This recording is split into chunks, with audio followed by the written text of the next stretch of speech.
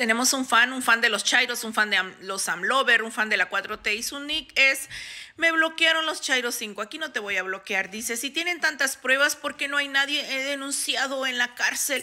Los Chairos son puro chisme. No, tú sabes por qué no están los expresidentes en la cárcel. Por los magistrados, por los jueces corruptos, porque ellos entre ellos mismos se protegen porque son una mafia, la mafia del poder los que siempre se han encargado de saquear a México, de robar, de entregar nuestro país a los extranjeros. Y por eso, por eso se protegen entre ellos. O sea, no te hagas pendejo que no lo sabes.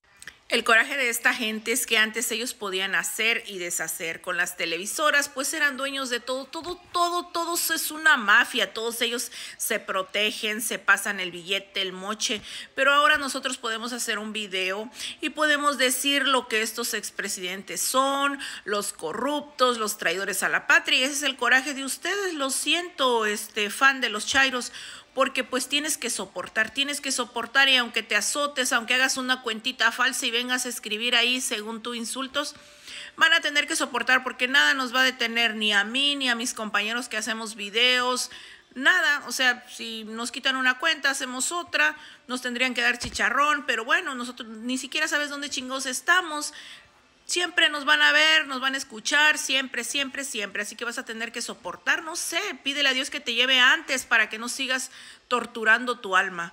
Gracias.